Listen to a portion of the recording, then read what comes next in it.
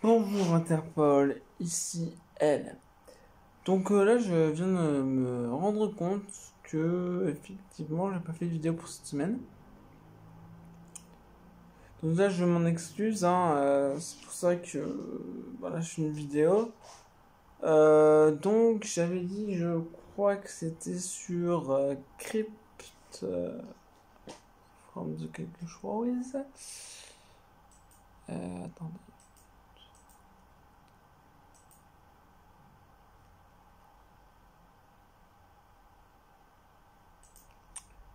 Euh, ouais, from the Crypt. Et euh, du coup, donc. Oui, euh, vous voyez mes doigts, je, suis en train de sur mon clavier. Euh, du coup, et donc. Euh, voilà.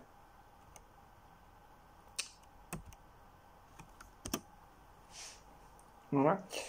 Et du coup, ben, je fais cette vidéo euh, pour expliquer un truc de From the Crypt, parce que j'ai vu qu'il y a des cryptas sur justement ce site.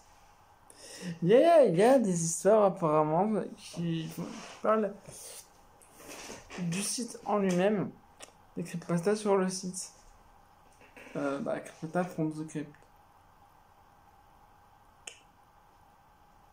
J'essaie de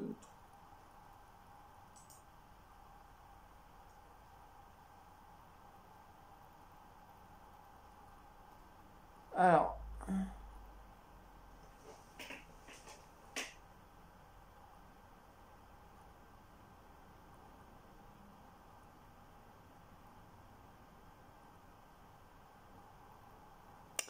Ah oui, non.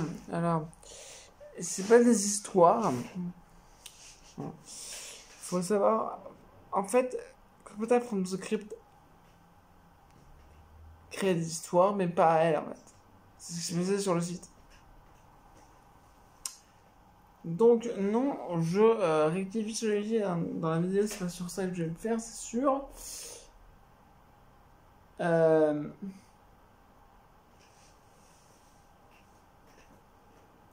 Ben tiens,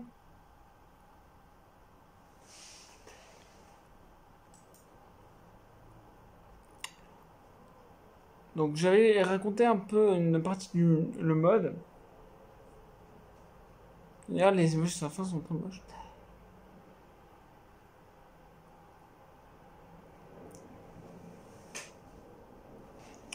Donc euh, elle vient de l'année dernière euh, du mercredi 5 septembre 2018.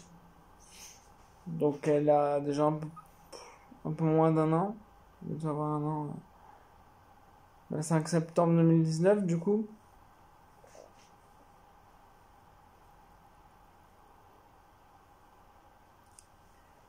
Et donc, eh bien, euh,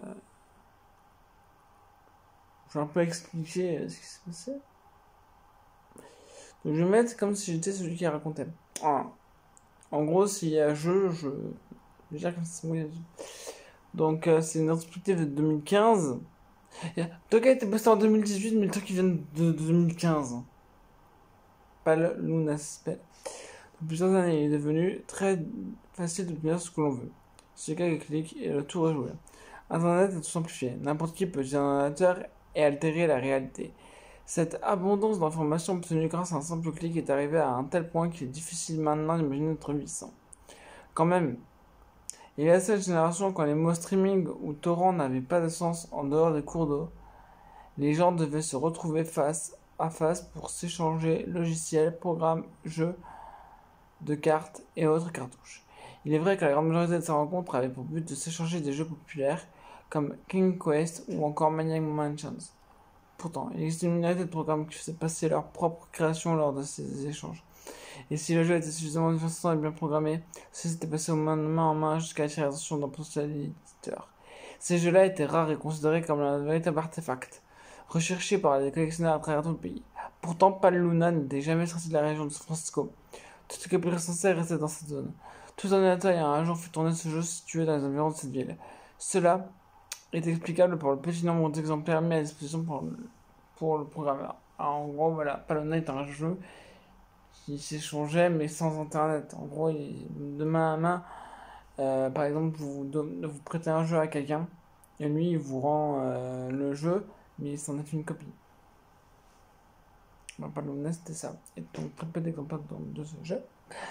Paluna est un jeu d'aventure textuelle, une fiction interactive dans, le même, dans la même veine que Zork ou The Larking Horror, et décrit dans la même période que ces deux jeux, période durant laquelle ce genre était à la mode.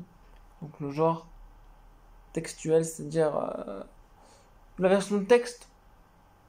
En gros, hein, c'est que texte. Texte.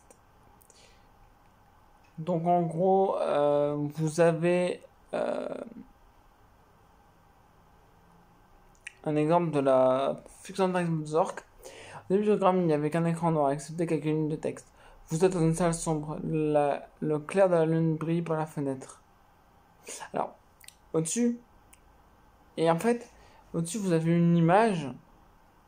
Et ensuite, l'image que je vais pas vous montrer parce que c'est pas le but, euh, est une note de Zork. Hein. Zork 1. Donc, au début du programme donc, de Paluna, il n'y avait, qu'un écran noir. Expliquez quelqu'un de texte. Vous êtes dans une salle sombre. Le clair de lune brille par la fenêtre. Il y a de l'or sans coin, ainsi qu'une pelle et une corde. Il y a une porte qui donne vers l'est. Comment? You are. Donc, c'est en fait écrit en anglais. C'est ainsi que commençait ce jeu, décrit dans un vieux front fanzine. Je même pas ce que c'est, hein, je, je dis, je pas ce que c'est. Comme énigmatique, sans aucun sens, totalement injouable. Le jeu acceptait dans les. Alors les choses suivantes prendre or, prendre pelle, prendre corde, ouvrir porte, aller vers l'est. Dans cet ordre. Puis le joueur recevait les instructions suivantes. Première récompense, Paluna vous sourit. Vous êtes dans la forêt. Il y a trois chemins, nord, ouest et est. Commande. Donc en gros, quand, vous, quand le jeu met commande, il faut que tu choisisses un choix.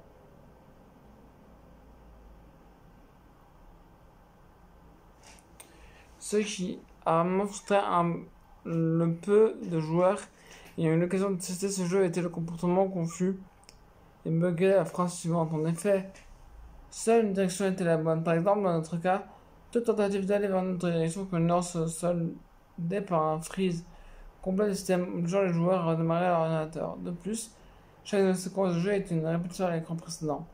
La seule chose qui changeait était la direction proposée. Encore pire, le manque de ce type de jeu était inutile. Ici, l'action acceptée par le jeu autre que le mouvement était utilisé hors, auquel le jeu répondait par le message suivant.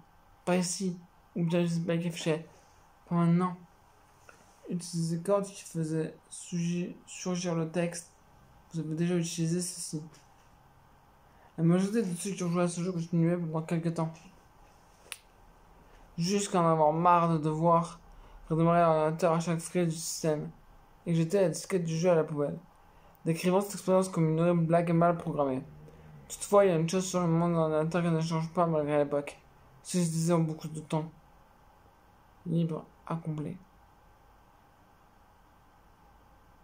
Pas moi. Un jeune homme du nom de Michael Levitz a un jour décidé de découvrir si Palona avait plus à offrir que ce que ça avait pu apercevoir. Après 5 heures de jeu, 30 temps, 3 tentatives beaucoup de câbles débranchés, finalement réussi à faire afficher aux gens un texte différent. Sur l'écran affiché. Palona affiche un large sourire. Il n'y a aucun chemin. Un large. La terre est souple. Paluna affiche un sourire. Ici.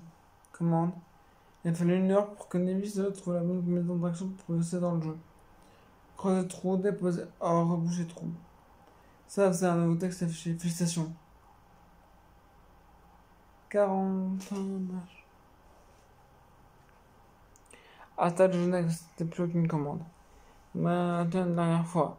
Après avoir longuement réfléchi, Nevis était arrivé à la conclusion que ce nombre est en face d'une latitude et une longitude. Celle-ci conduisait à un point dans une forêt le par volcanique de Lassen. Quand il avait beaucoup plus de temps libre que bon sang, il a décidé d'aller voir lui-même ce que signifiait La fin, pas le Luna. Alors, la longitude et latitude, c'est 40.24-24-8. Donc, tout attaché. Et l'autre, c'est moins 121.44-34. Pour ceux qui veulent aller voir euh, le parc volcanique de la Seine,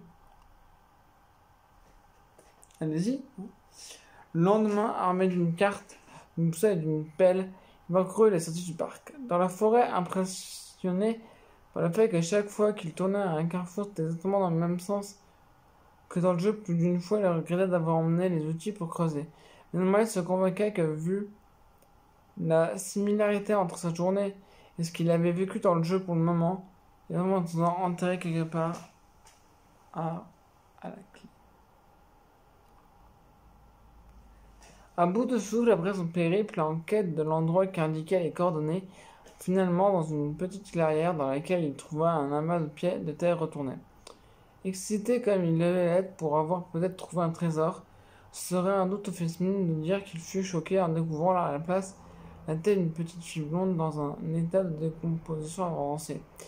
La testeuse et l'enfant fut de la petite Karen Paulsen, 11 ans, transférée par le département de la petite San Diego depuis plus ou moins un an et demi. Des efforts ont été faits pour retrouver la petite du programme de Paluna, mais le grand flou régnant dans le milieu des échanges de jeux en face à face conduisait à bien des impasses. Voilà, donc si vous le trouvez, hein, de suite les autorités. Les collectionneurs offraient jusqu'à 6000 dollars pour une copie authentique du jeu. Vous savez quoi faire Le reste du corps de Karen ne fut jamais retrouvé. Alors Karen, je vous rappelle que c'est sa petite fille. Si jamais vous retrouvez le corps, sera-t-elle, monsieur Appelez les autorités. Je vous le dis. C'était toute la creepypasta en entier que je voulais. Pas Luna est un jeu qui donne des informations comme ça. Je, dis que les mecs qui font ça sont des super-héros. C'était elle. Chao.